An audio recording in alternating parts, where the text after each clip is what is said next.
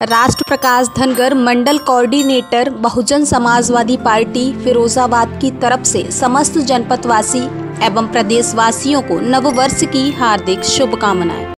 राष्ट्र प्रकाश धनगर टीवी भारतीय समाचार के माध्यम से समस्त देशवासियों व प्रदेशवासियों को नव वर्ष की बहुत बहुत शुभकामनाएँ। धन्यवाद। जय हिंद।